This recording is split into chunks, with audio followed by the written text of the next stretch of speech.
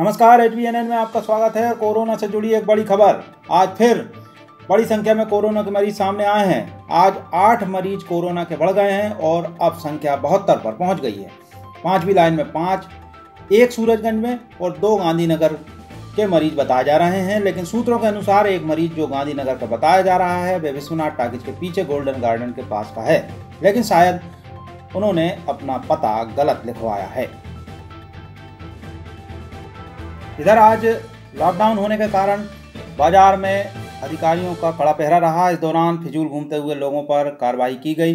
कुछ लोगों से उठक बैठक लगाई, लगवाई गई, जबकि कुछ जो दुकान खोल कर बैठे थे, उनकी दुकान भी बंद कराई गई।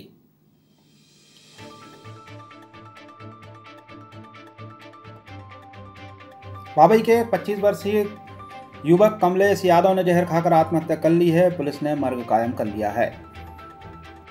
बाबई में ही पुलिस ने जुआरियों को पकड़ा है, जावली के नीलेश कीर आंचल खेड़ा के राजेश यादव पाहनवर्दी के हरीश कुशवाहा, बाबई के केशव प्रजापति, श्याम यादव और विनोद बघेल को पुलिस ने गिरफ़्तार किया है।